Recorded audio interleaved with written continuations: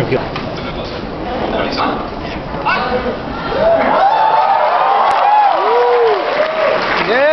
We got uh, nothing prepared for you because we're working on the season. Yeah. Because we already made like three promos that we showed at every other convention. Yeah, so you've seen it. Every promo, left.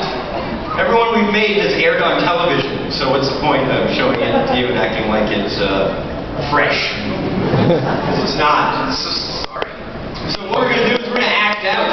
episode.